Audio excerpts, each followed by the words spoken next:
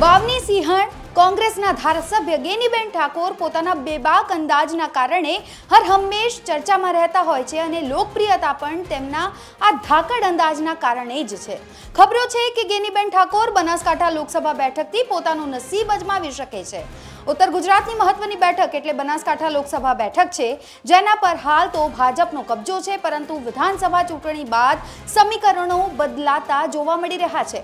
ઠાકોર અને ચૌધરીના વર્ચસ્વવાળી લોકસભા બેઠક પર છેલ્લા ત્રણ ટર્મથી એટલે કે બે હજાર તેરથી સતત આ બેઠક ભારતીય જનતા પાર્ટી પાસે છે એટલે સ્પષ્ટ છે કે આ ગઢમાં ગાબડું પાડવા માટે હવે કોંગ્રેસ મેદાનમાં ઉતરી રહી છે અને તેના માટે જ તૈયારીઓ પણ કોંગ્રેસ દ્વારા કરવામાં આવી રહી છે.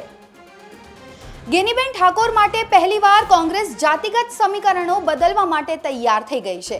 મહિલાને અને એમાં પણ ઠાકોરને ટિકિટ આપવાની રણનીતિ બનાવી દીધી છે અને તૈયારીઓ કરી લેવામાં આવી છે. અહીં ચૌધરીના બદલે ઠાકોરને ટિકિટ આપવાની રણનીતિ ઘડવામાં આવી રહી છે. આમ તો બટેટાની નગરી બનાસકાંઠાથી ભાજપથી ચહેરો છે વિધાનસભાના અધ્યક્ષ શંકર ચૌધરી. જેઓ ચૌધરી સમાજમાં ખૂબ જ વર્ચસ્વ ધરાવે છે. એવામાં ગેનીબેન ઠાકોર શું ટફ ફાઇટ આપી શકે છે કે કેમ? એ જોવું રહ્યું.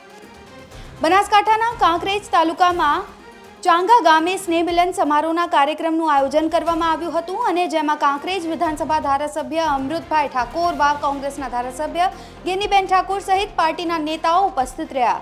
અહીં ગેનીબેન ઠાકોરે કહ્યું કે રાજસ્થાનમાં ચૂંટણી હોય, સરકારે જે પાણી બંધ કર્યું છે, જે ખરેખર ખૂબ જ ખરાબ વાત કહેવાય છે.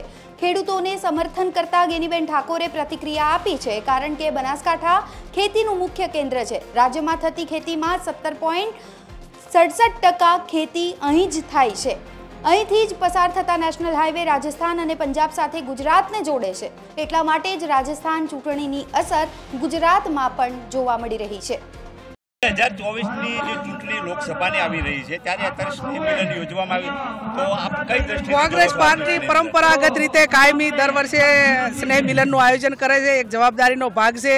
નવા વર્ષમાં સૌ સ્નેહીજનો મળે એકબીજાને નવા વર્ષની શુભકામનાઓ પાઠવે અને પરિવારના નાતે જ્યારે ભેગા થતા હોય ત્યારે ચૂંટણીઓનું વર્ષ હોય તો સ્વાભાવિક કાર્યક્રમોમાં ઉત્સાહ આનંદ અને આળસ કંકેરીને સૌ કામે લાગી અને જે જવાબદારી સોંપવામાં આવે પૂરી નિભાવે એ માટે આજે બધે આગેવાનો એનું આહવાન પણ કર્યું છે અને બે હજાર ચોવીસમાં સો ટકા ગુજરાત હોય કે સમગ્ર દેશની અંદર રાહુલજી અને પ્રિયંકાજીનું નેતૃત્વ સ્વીકારાઈ રહ્યું છે ત્યારે હવે એક વિકાસની રાજનીતિ ચાલે, ધર્મના નામે ઘણો વર્ષ સુધી રાજનીતિ થઈ અને આજે રાજસ્થાનની સરકાર જે સ્કીમો ચલાવી રહી છે, એવી ને એવી સ્કીમો સમગ્ર દેશની અંદર કોંગ્રેસ પાર્ટી આયોજિત લોકોના હિતમાં નિર્ણય લેવાય એવી અપેક્ષા સાથે સૌને શુભેચ્છાઓ બનાસકાંઠા લોકસભા બેઠકમાં આવતી વિધાનસભા બેઠકની વાત કરીએ તો વાવથી ગેનીબેન ઠાકોર છે, જેઓ કોંગ્રેસમાં છે, થરાદની સીટ જે છે, ભાજપ પાસે છે, ધાનેરા પર કોંગ્રેસનો કબજો છે, દાતા પર કોંગ્રેસનો કબજો છે, પાલનપુરમાં કોંગ્રેસ છે, ડીસામાં ભાજપ છે, દિયોદરમાં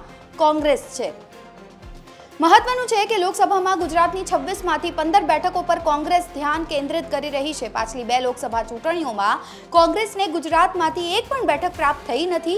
તેવામાં હવે કોંગ્રેસ દરેક બેઠક પર મહેનત કરવાના બદલે તેમને જે બેઠકો પોતાના માટે સરળ લાગી રહી છે, તેવી બેઠકોની યાદી બનાવીને ત્યાં પ્રયત્ન કરી રહી છે જીતવાના. અને આ પંદર બેઠકોના ચયન બાદ ગુજરાત કોંગ્રેસ બે હજાર ચાર અને બે હજાર નવમાં યોજાયેલી લોકસભા ચૂંટણીના પરિણામોના આધારે લીધો છે. આ પ્રમાણે કોંગ્રેસે ઉત્તર ગુજરાતની પાટણ, સૌરાષ્ટ્રની અમરેલી તથા જામનગર, મધ્ય ગુજરાતની ખેડા આણંદ, પંચમહાલ તથા દાહોદ તેમજ દક્ષિણ ગુજરાતમાં વલસાડ તથા બારડોલી બેઠક પર વધુ ધ્યાન કેન્દ્રિત કરવાની શરૂઆત કરી દીધી છે અને એટલા માટે જ કહેવાઈ રહ્યું છે કે ગેનીબેન ઠાકોર પણ મેદાનમાં આવી ગયા છે.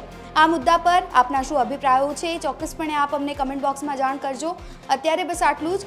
ગુજરાતના તમામ મહત્વના સમાચાર જોવા માટે આપ જોતા રહો ગુજરાત તક. આ વિડીયોને લાઇક અને શેર કરવાનું ન ભૂલતા. નમસ્કાર.